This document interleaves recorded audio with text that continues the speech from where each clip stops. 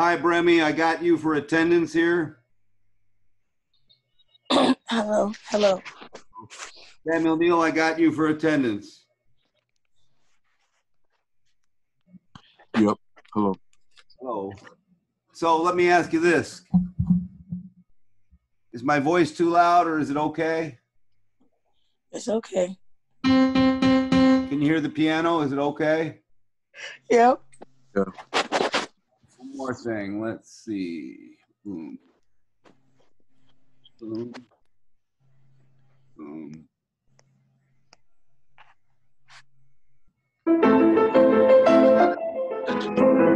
How about the music? Is it is it a lot louder or is it okay? It's okay. Is it a lot louder than like my voice or the piano? Not really. No. All right. I, I just noticed what like one of the first videos I did, the music was really loud when I played it. Now I just picked a piece of music, so they're all recorded at different levels because of their from YouTube. How about that one? Is it too soft?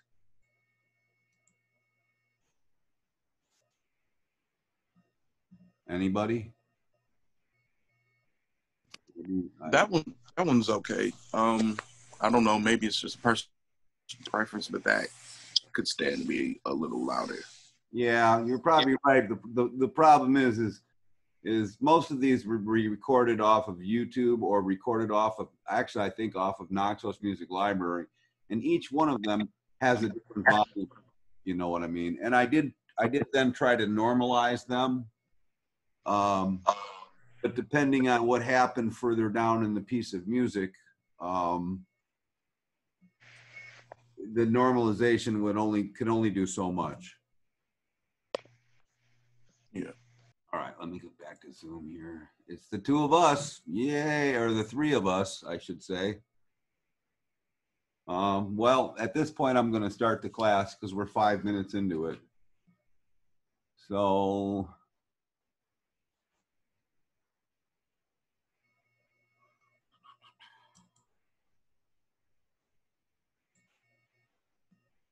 All right, at this point, you should be seeing the book. Is that true?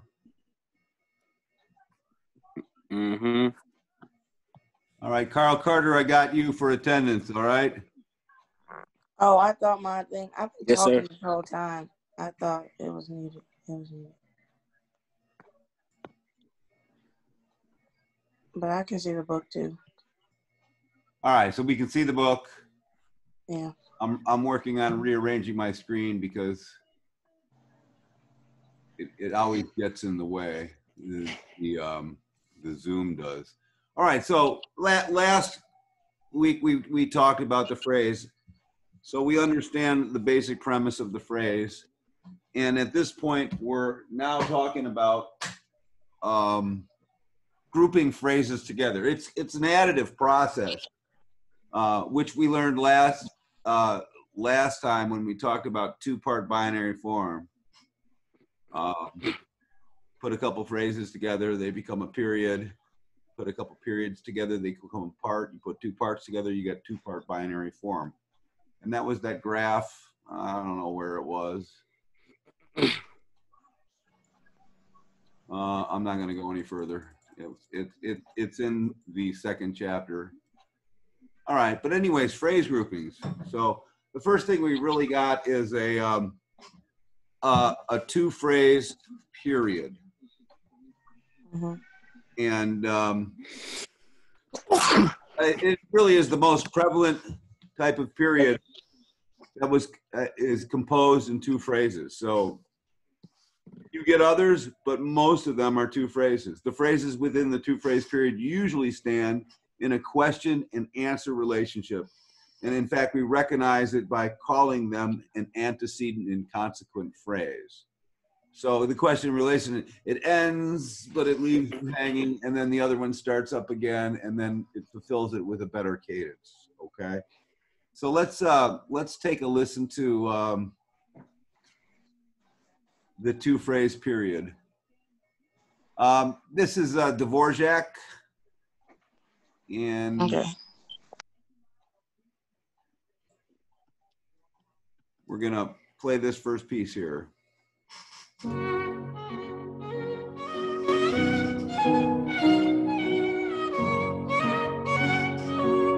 Scale degree two.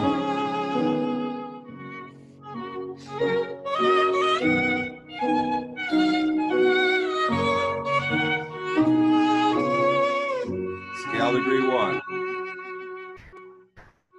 Here it is again.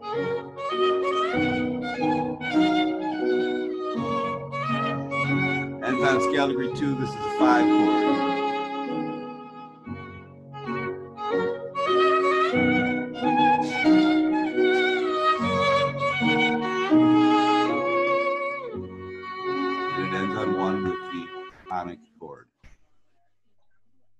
All right, so let's see.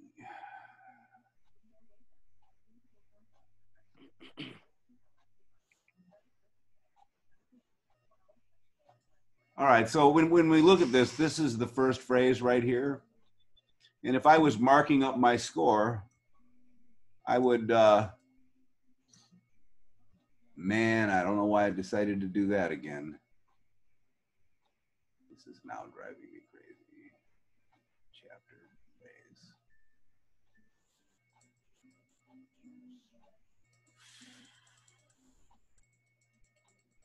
took me all the way back to the beginning of chapter two.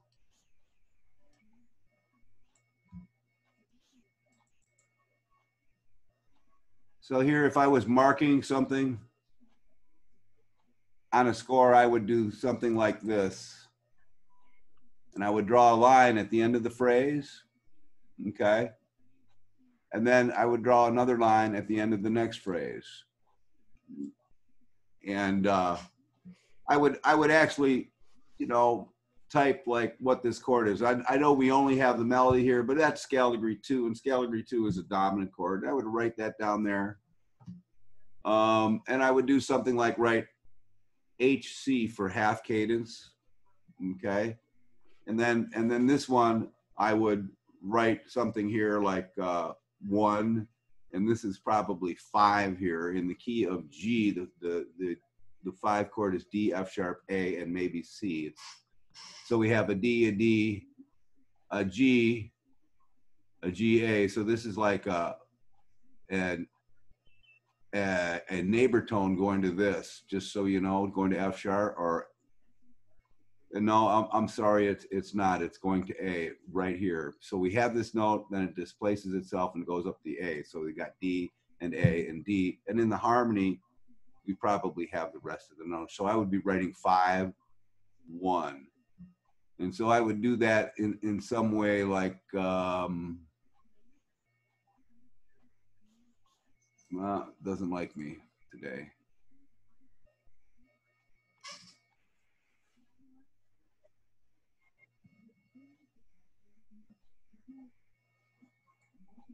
Well, I'm gonna control it.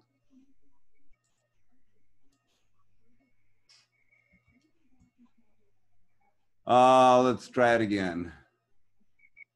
If I wrote some sort of box here, then I believe that I can type into the thing.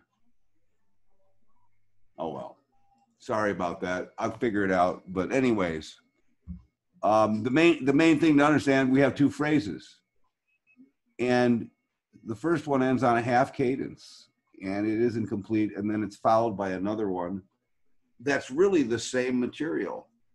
All right. It starts out exactly the same. It changes right about here. Okay. And it subsides and stops. All right. So, so, then we have, that's what I was just kind of explaining this, this uh, antecedent phrase right here ends inconclusive like a question and the consequent frame right here that ends in an answer with something that is in the tonic and it feels like it. Um, so then I have, we have the cadential relationship, okay? And the cadential relationship um, is really, is an incomplete and a complete cadence. So an incomplete cadence, again, is something that doesn't end on one and then a complete cadence ends on one. Okay, so um, the first phrase clearly expresses a harmonic dependence on the next phrase. All right. Then we have a sense of need of one or more of those, uh, uh, more phrases to complete the musical idea. So with that, this is the antecedent. It ends on five and this ends on one. And I'm going to go back to it and play it one more time. Just one time through.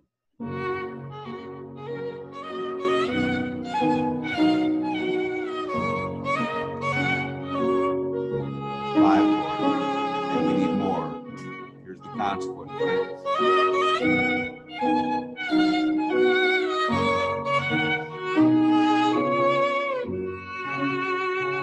Ends on one. Okay? Any questions? Let's listen to another one here. Okay. Mhm. Um, this is the Schubert Sonata. And it's opus 120 in its it's sonata number 13 in A major. Um, and it, uh, before we look at it here, what we have is we have two cadences. And uh, do you remember I, I told you that that generally things in the book told us that that phrases come in twos, fours, and eights. Eights are really fast, fours are in moderate, and twos are really slow. Okay, so and much of it, just so you know, is based on vocal music. How long can somebody sing something in a single breath? And that was really the idea. So here we have a cadence right here. Um,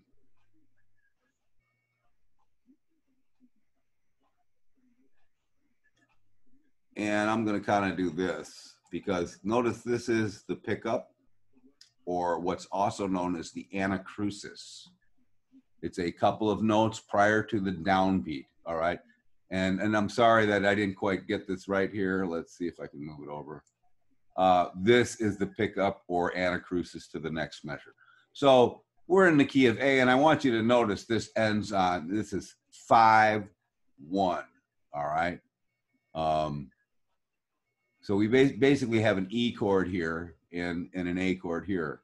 Uh, but I want you to notice that scale degree three is in the soprano. All right. And then we have another phrase that, that comes in, and it's in it's kind of the same thing as the other one, eh, but it ends on one. Okay. And, and that makes it more conclusive. All right. I don't, this isn't as easy to hear as something that ends on five. Okay. Um, here we go. I'm going to play this.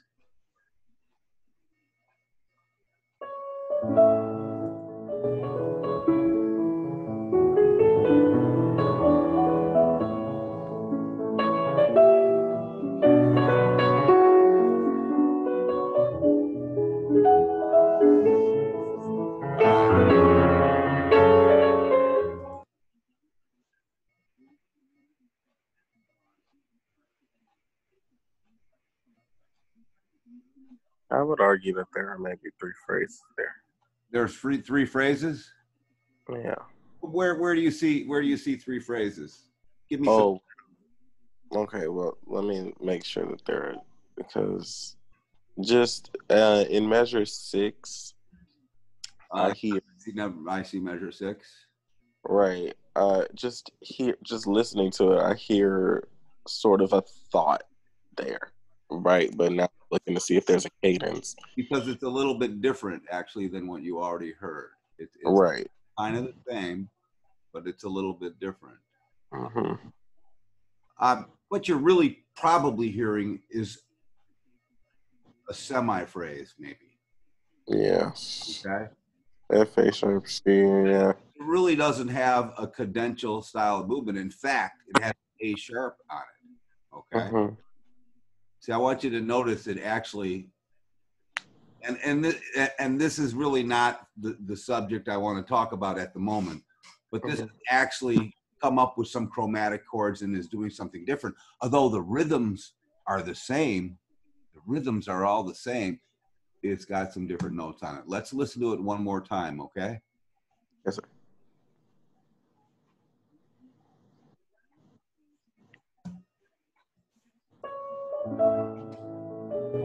Very peaceful in the beginning compared to the second one. I'll agree.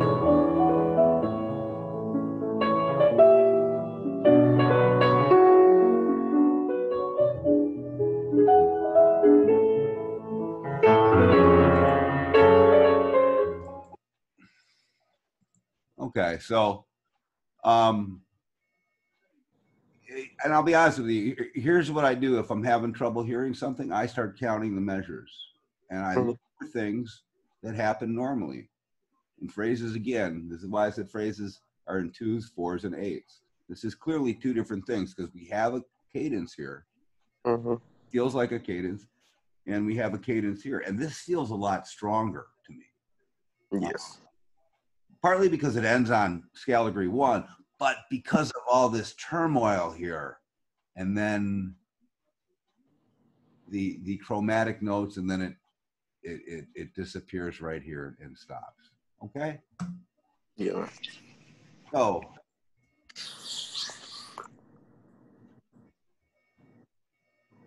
uh, let's take a listen to the Chopin here.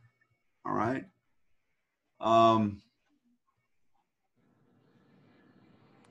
this one is a lot faster. Okay.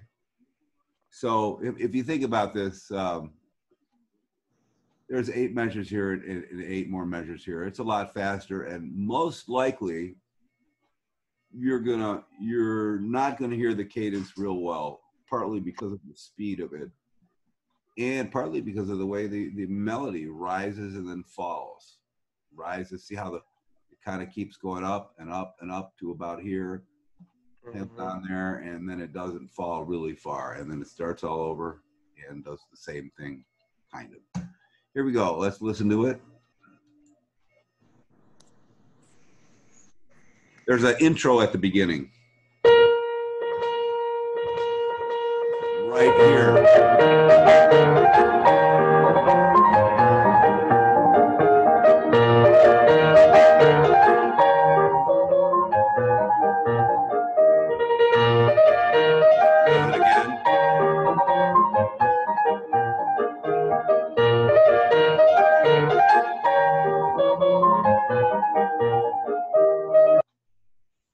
Okay, so you kind of get an idea of this. Um, and and when we look at this, this is an E flat. This this goes five one in E flat. Okay, um, and it does end on an E flat, so you could say it's a perfect authentic cadence because here's the E flat. Okay, Mhm. but it has this figure in here. All right, so rhythmically it's weak because it terminates on measure on on the last beat beat three. Rhythmically, it's weak. All right, important because that we we learned that in the last chapter. Hmm. So I think actually maybe the first chapter, not quite sure. But here, when when I go through this, this again is five one, and it terminates on the downbeat and stops. Right.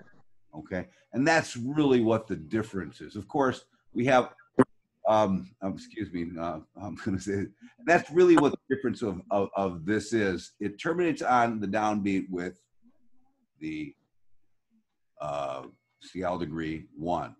Here, here we, he just added some some non, a, a non-chord tone there, so that's uh, F. And that's G. That's in the the key, and then passing tone then here. So Plus Oh, the rhythm same. me. Plus the rhythm is the same and cadential like cadential rhythmic endings usually it makes them strong. So I'm gonna I'm gonna take and I'm gonna circle this note right here. Oh man, this is now driving me crazy. I'm gonna have to get a new copy of this.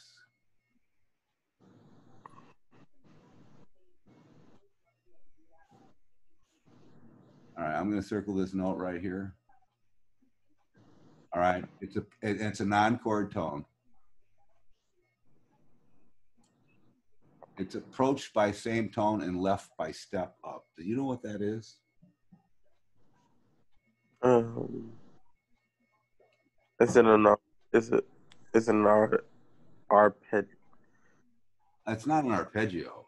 not an arpeggio, it's an A appoggiatura. No, an appoggiatura uh, is approached by skip or leap and left by step, usually in the opposite direction. Okay.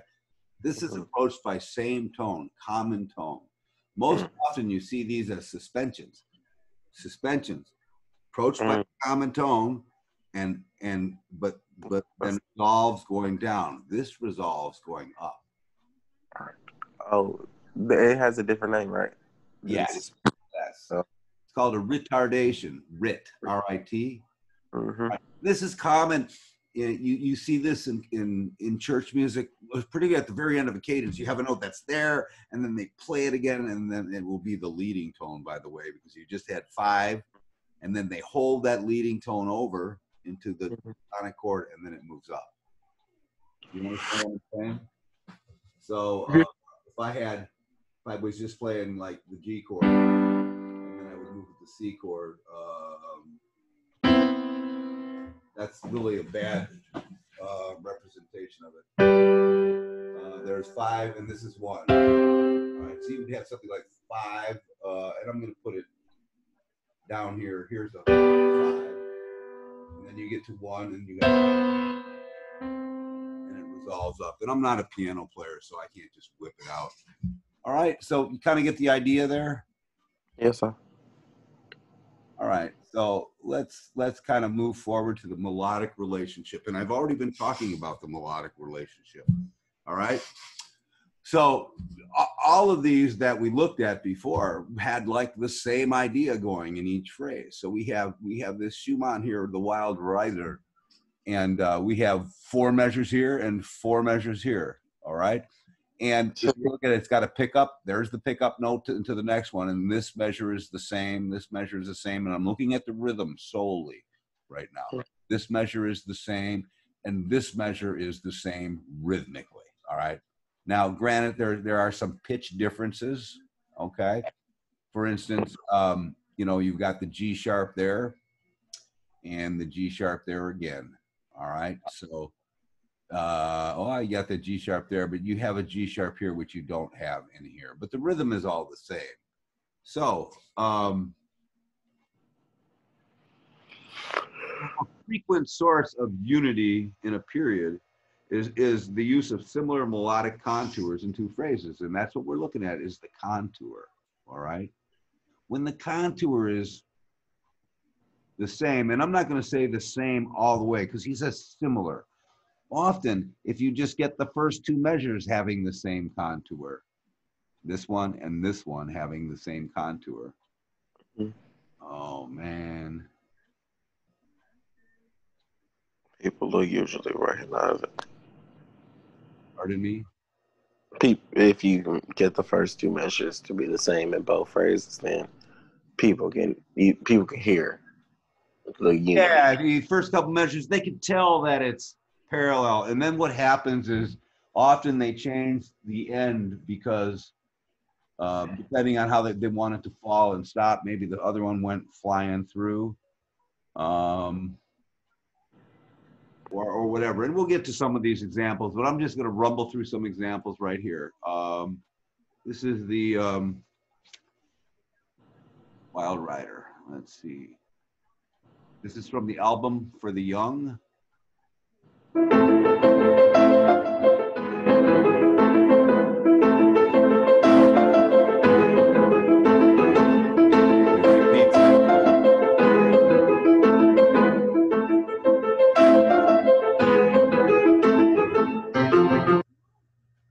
and I'm going to just tell you that in this period of music, phrases are if you put a phrase together and you get another phrase together, and they're called a period, really. And periods are often repeated. Okay, not always. Like sometimes I say they're going to repeat it, and then they don't. The further we get into uh, the romantic period, that doesn't happen as much. And so we, we have this similar uh, uh, type of material on the top. And uh, so, so really it just is parallel, it's, it's illustrating what's called parallel construction. So parallel construction is a frequent source of unity in a period that you use similar melodic contours in two phrases. could be three phrases, but two for the moment. Um, so then, then, um,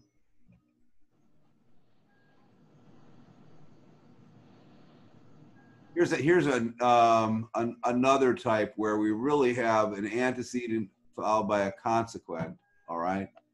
And they're in parallel motion. Um,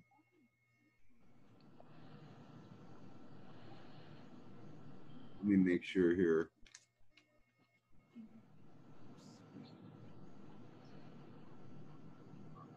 Yes, I do have it.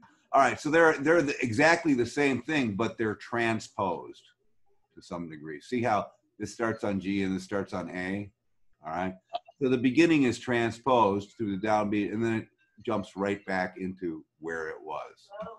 So let's take a listen to this. And um,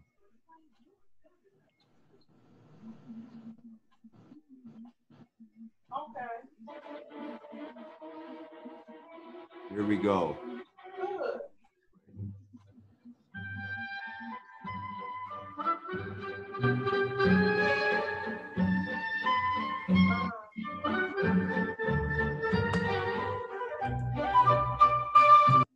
All right, so we're getting further in the century, but that's just played a single phrase, and then it's played again, except for the beginning of it is transposed, so it kind of starts in a different in a different. Right.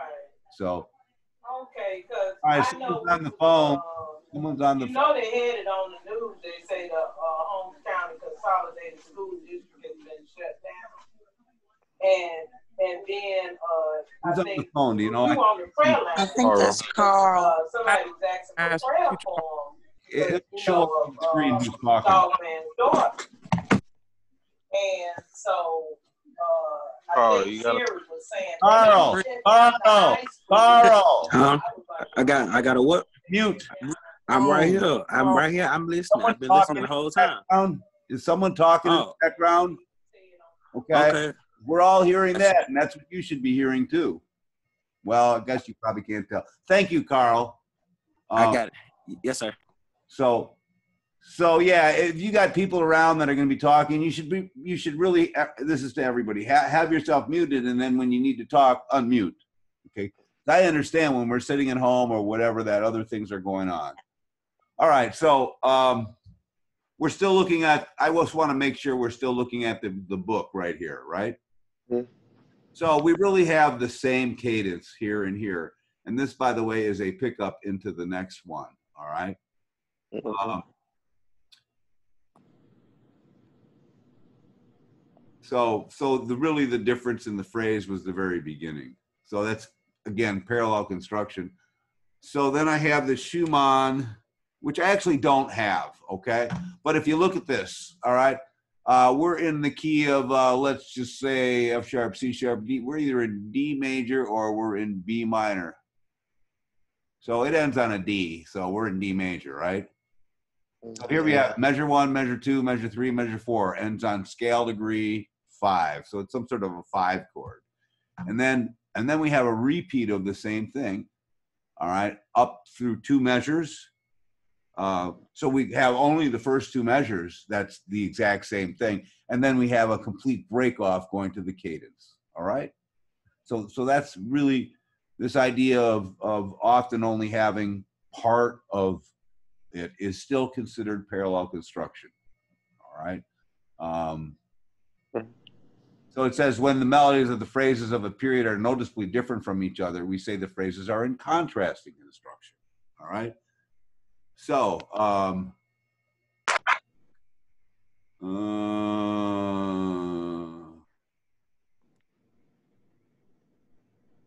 so right here, this is this is referring to this. It does say that the transposition of the first, uh, the second phrase begins with the transposition of first, and the parallelism is never, nevertheless obvious. All right. So, uh, so then we have some sort of other thing called contrasting construction. Um, 322. Oh, lovely.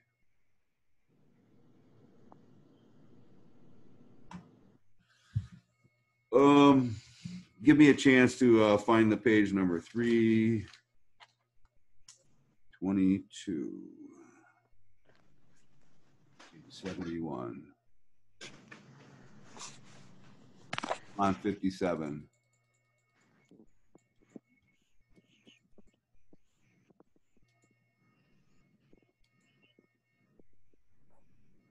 Um, so let's just take a listen to this. Um, number 19 and see what he's talking about.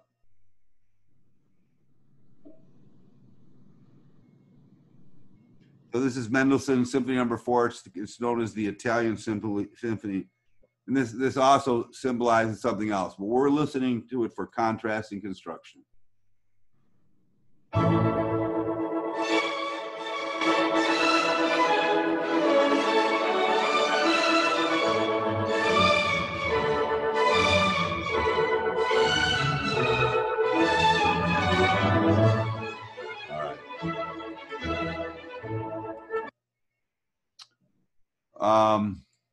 So let's look at this. Uh, it's going pretty fast, so it's probably eight measures, and here we have eight measures, and it pauses right here, and then here's the pickup right here, and it kind of looks similar right in the very beginning, but it's clearly evident that the phrase is different, and there's just a little motive that's repeated and repeated, and then expanded, then back to repeated, then the expanded version of it is, and it terminates right here. There's a double bar, okay? So let's listen to it again. Notice that this first eight measures is the first phrase, and the second one is noticeably different. Okay.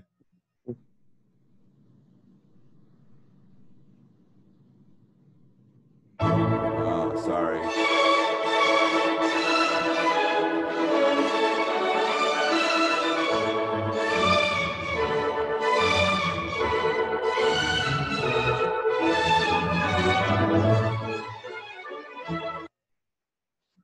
Right, so you kind of get the idea? Mhm. All right, now I got to scroll back to wherever we were. Uh, tonal relationship 56.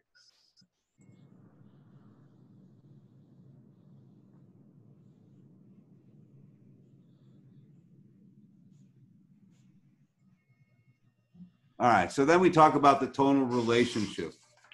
All right, and um,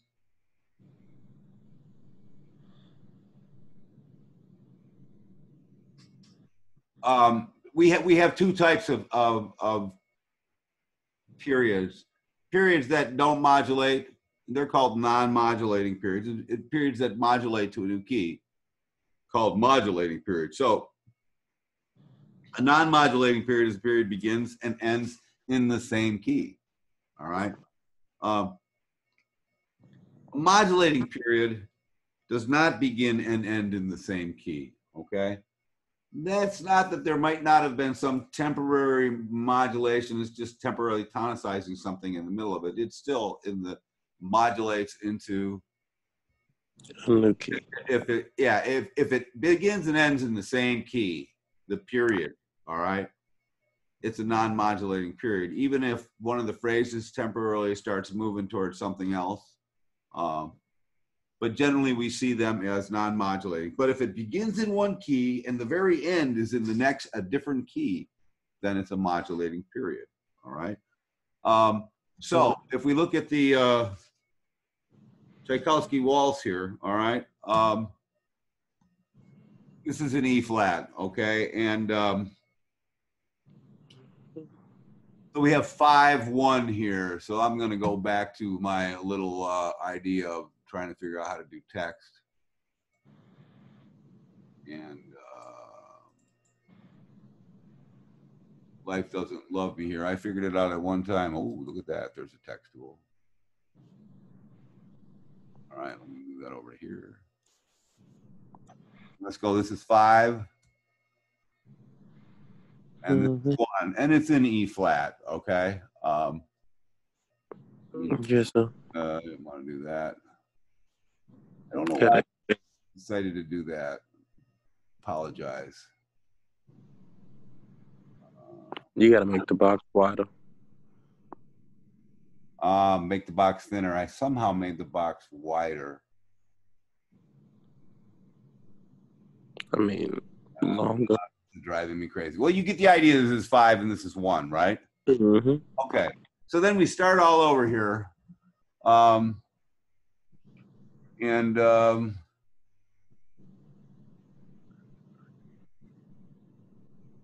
no, I don't want to do that. Command Z, Command Z. Oh man. Driving me crazy. All right, there it goes. Um, text tool. I'm just gonna start here. I was gonna start there. Here is the text I wanted. And um, so this is an E flat, E flat, and this is the one chord right here. All right. I don't know why I put a comma in there. All right. Um, it automatically did it. I don't think I hit a comma. Anyways, so we continue with the one chord, and the one chord pivots to become the six chord. So so now we're in a new key. Um, and uh, the E flat is the sixth chord of what key? And if you if you just think about it, it's probably going to be the dominant key. All right, or it's going to be the relative minor. Okay. So so in this case, if it's a sixth chord, it's a major chord, so it's probably minor. And this is where you need to know your um, Roman numerals in in key in, in you know in major and minor to, to kind of understand it. But what this does is it pivots to G minor, and I'm just this is not the best way to write it, but right now I don't have anything good to do it with, so I'm just going to write G, and this this one chord becomes a six. All right. Sorry. So it becomes a six. We're in G minor, and it goes and and all the way down here it goes D. This is the five chord, five one. All right. Do you see it? And and here's that leading tone hanging over and moving up. That's another. That's that retardation. Okay. hmm All right. So let's listen to it. Uh, the Tchaikovsky waltz. And number six.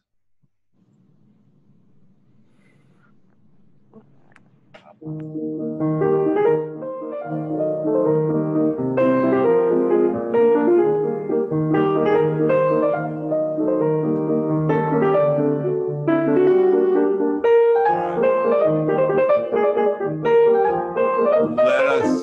listen to it one more time here, all right? But let's go back and look at it. Now, this is this is uh um some people might might say that this is a phrase here. All right. Um, the book is explaining it at the moment as a sub phrase. Now, there's more than one way to skin a cat, but do you really have a cadence here? And you really don't. You have a one chord elaborated all the way through here. And, and then you have a new chord here, and then you have the five chord here, and the one chord here. All right. So remember uh, the three different ways of, of developing a phrase a single chord followed by a cadence, elaboration of a single chord followed by a cadence, when that's what this is. Okay. Um, because you, you know this is uh you know this is this is kind of like the, the cadential area here but this is five one. But it's a single chord basically a single chord followed by a cadence and here is the cadential progression. And then the last one is um uh, uh the cadence formula which is one four five one or one two five one. Really but the scale degrees of the bass would be one four five one. So remember that. So this continues on here and it cadences there. Let's listen to it again. It's not that easy to hear. The further you get into music in like Tchaikovsky and things like that that are moving fast, it's harder to hear. And you got to start, and then you got to start learning to count measures. Okay. But using your ears is the best thing you can do. Here we go.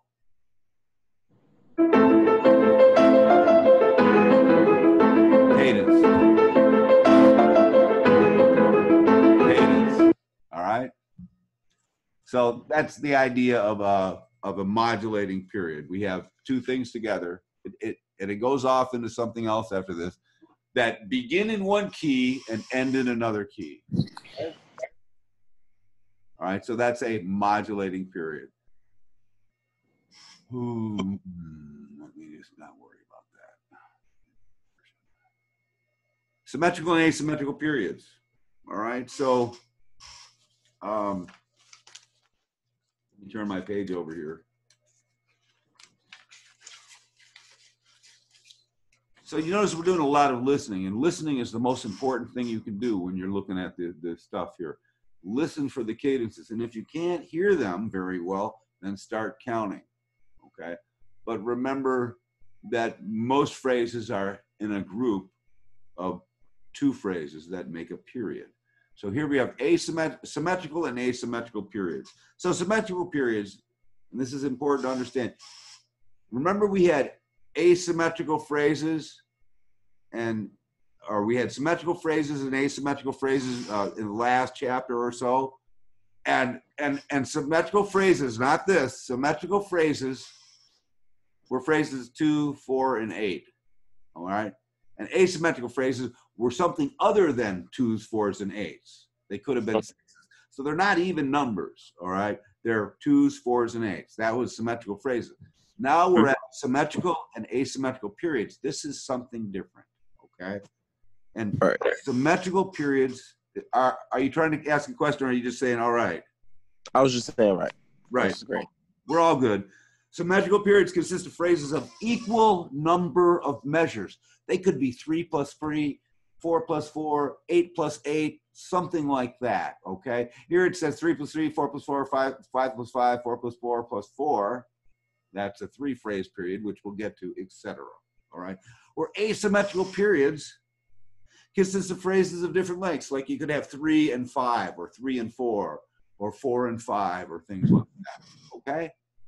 So that's different than asymmetrical, symmetrical and asymmetrical uh, period um, phrases. All right. Do we understand that? Yes, sir. Okay, because this is a point that people get confused a little bit because they they think back to asymmetrical phrases, but but we're talking about periods. Okay. Um, so when I when I take a look at the Schubert here, all right, um, this is really right here. Uh, let's hope it doesn't fly away from me again.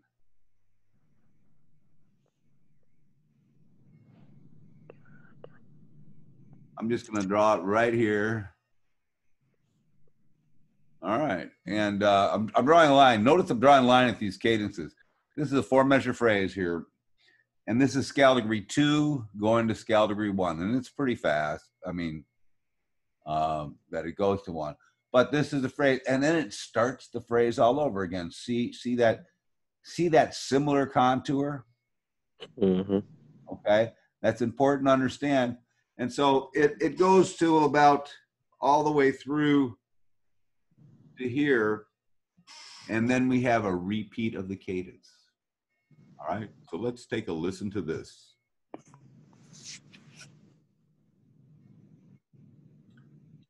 Oh, number seven or number eight. This is um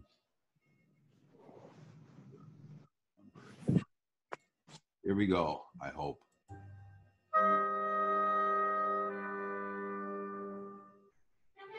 Here it is. Cadence.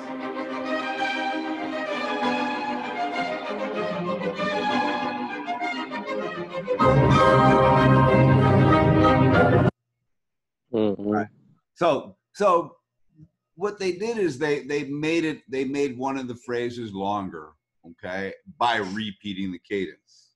All right.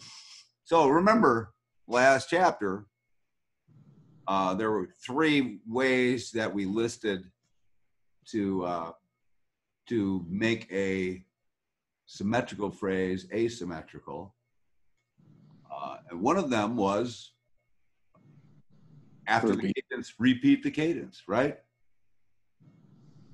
Okay.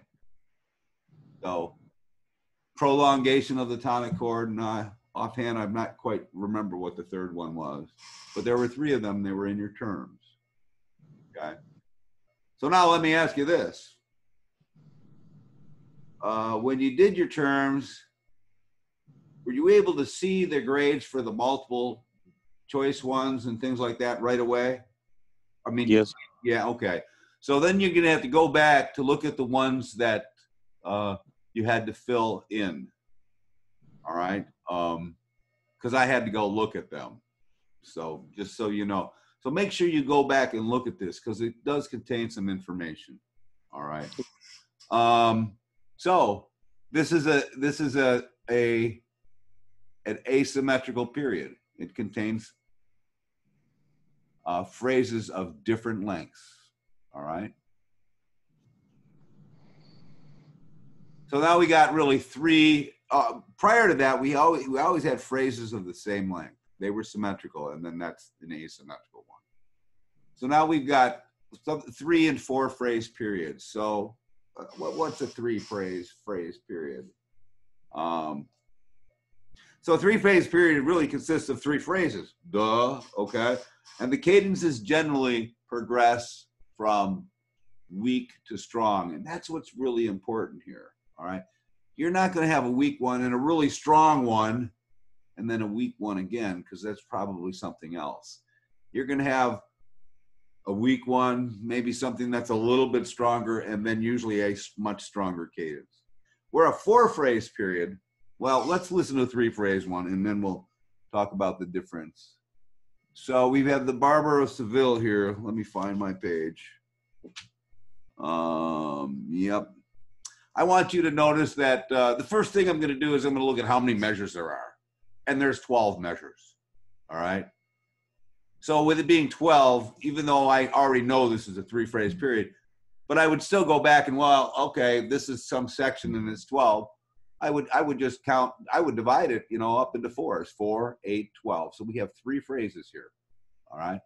And I want you to notice that this phrase and this phrase are in par- are parallel. Okay. Uh, they might not be on the same pitch. Notice this pitch moved up here, um, but their contour contour is the same. All right, and it's in G major, and uh, it looks like it, uh, uh, it it it terminates on. Uh,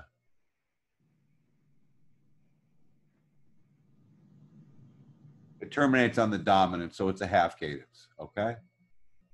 Uh, Oh. Here we got right here the same thing, but it's kind of at a different pitch level. Notice that the notes are even different down here, and um,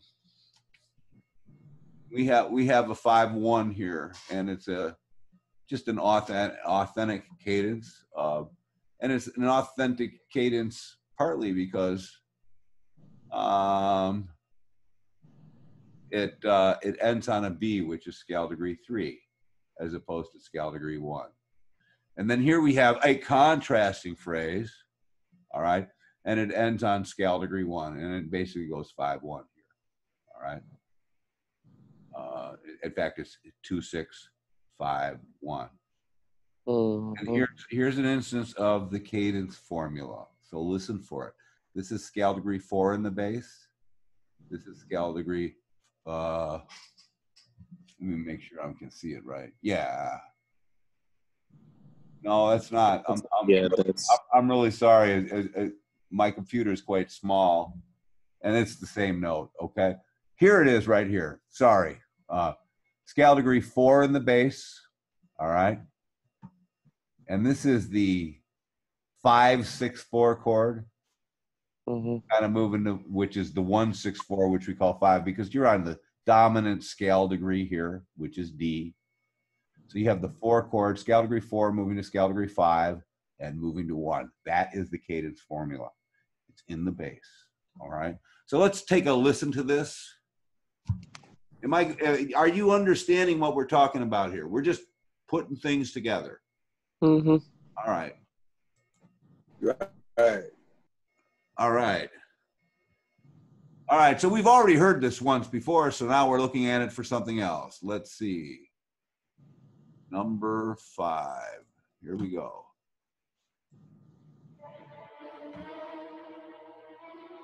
Here we go.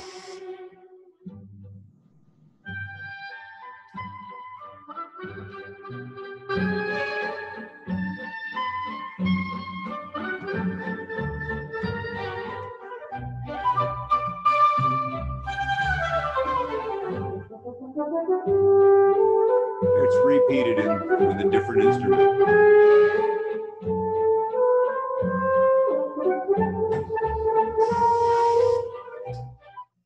All right, I didn't I didn't record the whole thing, but I'm I'm uh, on that.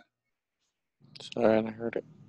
You you got the idea, and and I want you to notice that that was repeated, and often these things are repeated, and and later on in this chapter we're going to figure out that these repeats with, uh, particularly with variation, but these repeats uh, hold hold us some sort of weight of a larger thing. All right, and uh, we'll get to that sooner than later.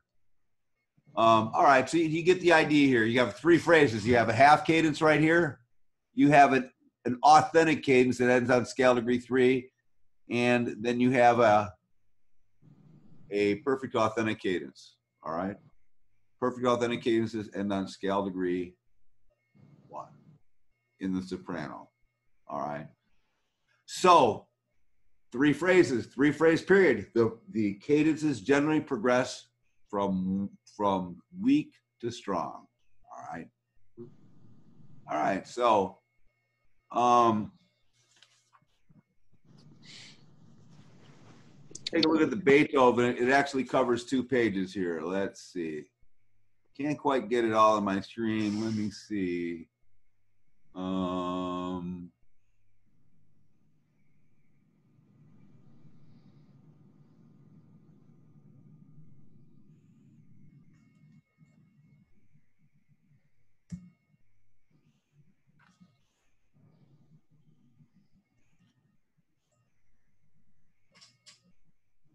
Um. All right, I just made it smaller. Sorry about that. I was looking for the shortcut, but apparently the reader doesn't have a easy switch. All right, so we have we have one, two, three phrases here, and um, first thing I do again. Uh, actually, we have we have we have three systems, but I count the number of measures, and if you look down here it's 16 measures, right? So I'm either going to have two eights or um, four four fours. All right. And when you look here, when we listen to it, it it, it should be more obvious because it is Beethoven.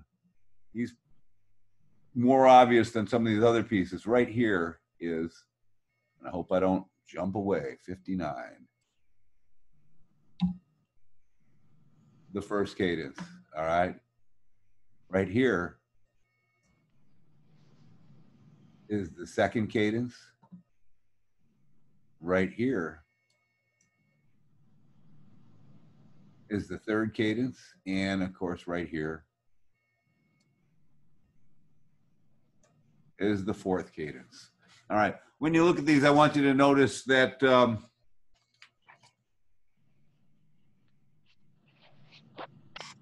just gonna make sure here that I don't. Okay, when I when I when I look at this right here, I got this right here, and I'm gonna look over here. Do you see this right here? hmm All right. It's kind of the same as this. It's it's when you listen to it, it's really the same. It's just uh, it's not verbatim. All right. Um, but you have what what you do have is you have this measure right here. Do you see that? That's that measure right there. The, the measure that's changed is this measure. All right. But you have this measure right here and uh, followed by this measure here, which is the same as that. Then you have this right here. Phrase two starts at measure five. All right. We count downbeats. This is an anacrusis. There's a whole bunch of notes, otherwise known as a pickup, but but in theory we call it an anacrusis. And it's a series of notes leading into the phrase. Here's the same thing, but it's not a series of notes, but it's still called an anacrusis. We know that from pop music as a pickup. All right. So here it is right here. And if I go down to measure such and such, we have similar anacrusis and we have similar phrases. Okay, so so this in theory is a four phrase period. All right. So a four phrase period, and he doesn't do a good job of actually telling you what it is. All right. Um, but it's a period that consists of four phrases where often, this is what he says, often the first and the third phrases are in parallel construction. All right. Parallel construction is is defined really as a portion of of the first phrase goes back and reappears in the second phrase. So we don't have the first measure here in in this right here. We have something else, but we do have similar pitch structure where it leaps up and then goes on, and then we have the parallelism right here. All right. So so I, I kind of define the four phrase period as the same as he said, except I say a period consisting of four phrases, often the first and third phrases, and then I can quote, and often the second and the fourth phrases are in parallel construction. So the first and third are in parallel. Um, the, the second and the fourth in parallel are in parallel, and the fourth phrase will contain the strongest cadence. All right. Right. And if you look at it, and, and you're really comparing it to this second phrase right here, see this phrase right here? The cadence is rhythmically weak right here. It doesn't end right here, it ends right here. See how this really ends on the downbeat?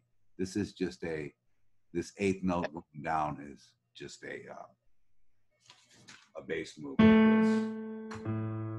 It's a displacement of the note, all right? So let's take a listen to this, and I hope that this will uh, give you a better idea.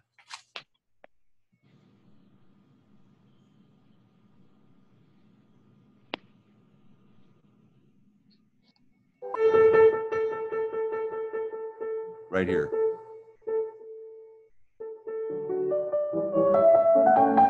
Cadence. Cadence.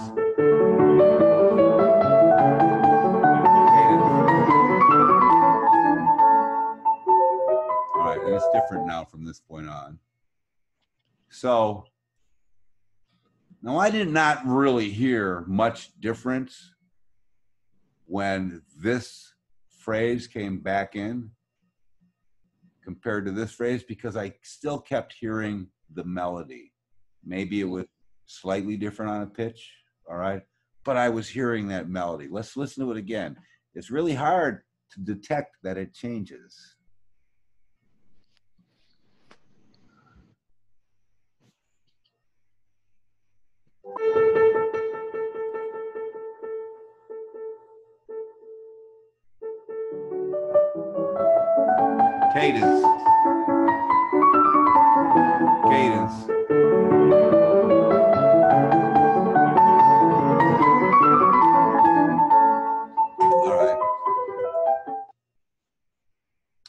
So when I think about this, um,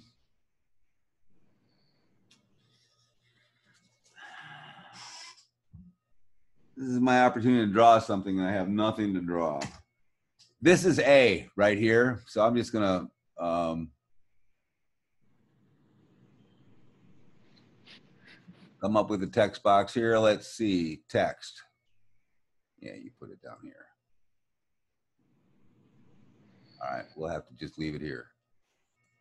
All right, so we have we have the first phrase is A. It shouldn't have a period there. Um, let me take that back.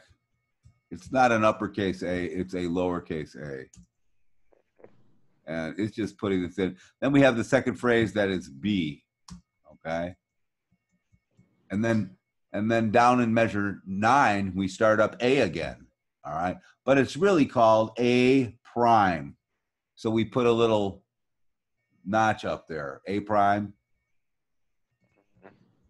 followed by B prime. All right. Generally, we would en- enclose these in lines that kind of look like, um, back here. I'm not going to do a very good job of this. Uh, I must have pressed the wrong thing. Uh, all right, and then we got something that looks like this. Nah, that's not what I want. Let's go this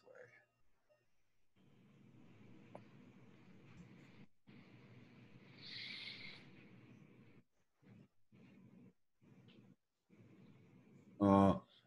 And and I'm I'm sorry about that, but each one of these would have a little box around it saying it's a phrase.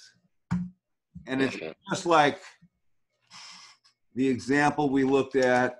Now I'm now I'm gonna go look for it. Um, when it was two-part binary form.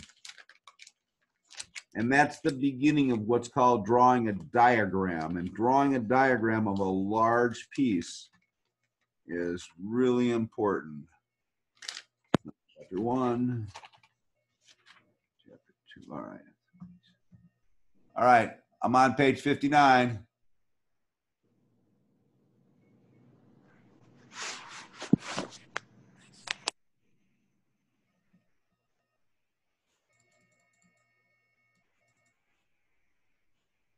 Here it is. Here's what I'm talking about right here. Put a phrase, a phrase, a phrase, and those those those things right there. Okay.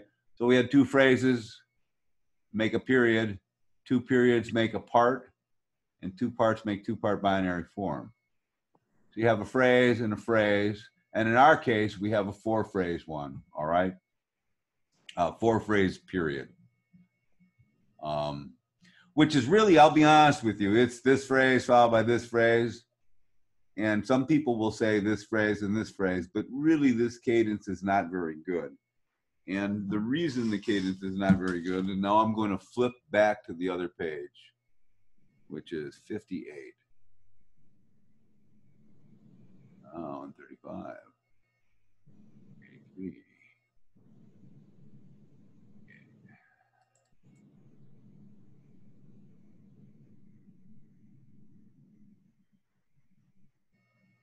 All right. Um, the Beethoven right here. Uh, partly because we have a half cadence here, we have a half cadence here, we have a half cadence here, and then we have a perfect authentic cadence here. All right. Um, this piece is an A flat. It goes five one right at the beginning. All right. And we're going to end on five. Here we go. We're ending on some sort of five chord. See, we got a pair of E flats there. Here we got an E flat there. We're ending on a five. Here we got that pair of E flats again. And here we have five, one. All right. So really what we have is we have three half cadences. They're all kind of the same. And then we have something that terminates it. And let's listen to it one more time, please.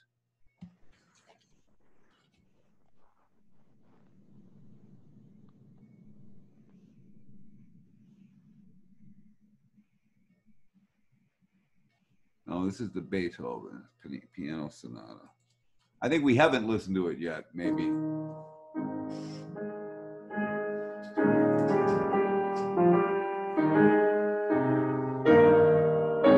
That's the first cadence.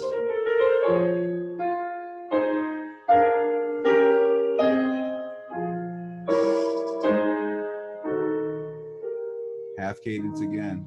We're nine.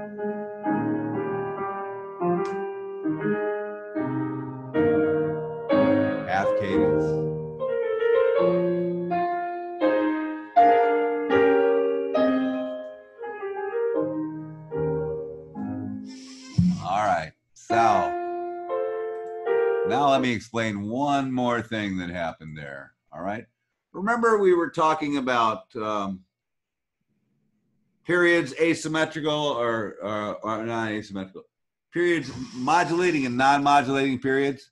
This is a non-modulating period. Sort of all right? But it fits the definition of begins in one key and ends in the in a different in the same key but right here this sounds like a perfect authentic cadence. All right? This is five. This is scale degree four. This is scale degree five. This is scale degree one in another key. You understand what I'm saying? Yes. Now, you could have analyzed it as this modulates, and then but then it just goes right back to the the original key. All it is is a temporary tonicization of the other key. All right, and you basically have, you know, like like a five one in that key. It's like a five of five going to five.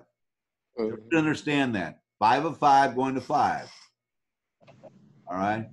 So so in in A flat, the dominant chord is E flat. What's the dominant of E flat? It's like B. B flat, right? hmm B flat. Yeah, it, it, that's actually not there. Uh, it's right here. All right. You have B flat, D flat, and it's an F flat. So it's it's it's uh B minor. uh yeah, it's some sort of diminished chord, but it sounds more like, and I'm not gonna tell you that's really right, but it sounds like a stronger cadence. Let's listen to it one more time so you can disagree with me. Let's see. Hit play.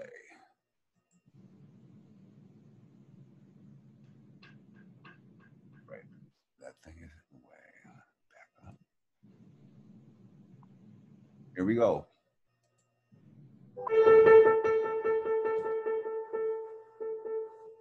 Now listen for this stronger style half cadence.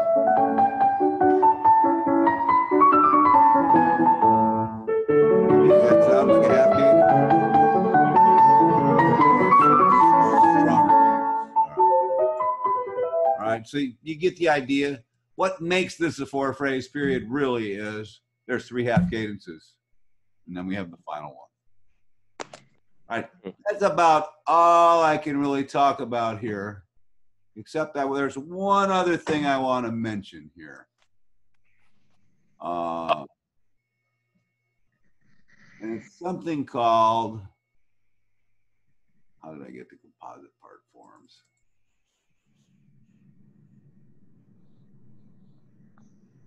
No. Take this out of the way. Move this up here. I'm in simple part forms.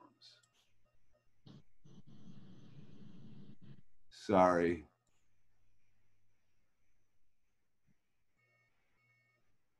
It's here. And I just got to get to it.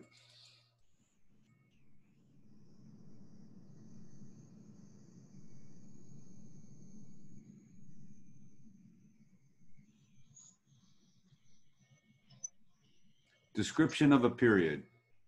All right. I, I need you to learn how to do a concise description of a period and all of that and the terminology that goes along with it. And here is a concise description. It says, a sample description of a period might read as follows. The structural unit is an eight measure non-modulating period comprising of two phrases, which are four plus four. So that means you have an eight measure for, uh, period there. Four, four plus four. First phrase is four, second phrase is four.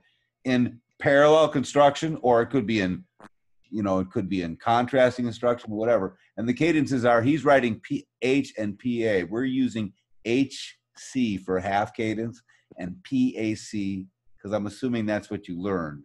PAC for perfect authentic cadence. So you can you can you can put this into anything. All right.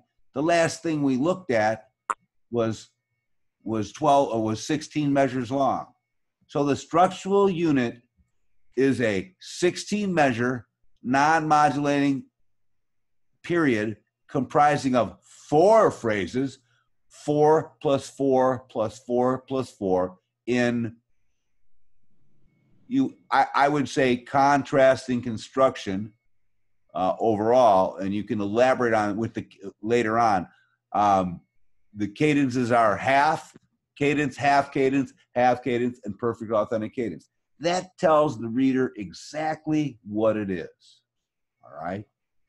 So if if, if something was eight, uh, eight measure phrases, we would say uh, maybe it was modulating. We have a uh, 16 measure modulating period comprising of two phrases, eight plus eight, in you know parallel or contrasting construction, whatever they are, and what the cadences are. It's a very simple little sentence here, and you should you should highlight that, write it down because you're going to be using it over and over and over. Not exactly like that, but this one's really common. All right. All of the first couple of phrases that we looked at at the beginning of today were exactly that. All right. So we left off with the Beethoven in A flat. So we got, we got, uh, we're on parallel period. All right. So if you weren't here when I took attendance, please stay around. If you have a question, please stay around. I'll take the attendance first. Um, and otherwise, everybody will see it. Oh, wait, you know what? There's, there is, there is a homework assignment. You, you're aware of that, right? Um, no, what's the homework assignment? It's, it's in module three. Module three is up and you got to go look at it. Every week, there's going to be a new module. And you Okay. got to go look at it, okay? Okay. So uh, I will show it to you here. Let's see. Um, new share. Uh,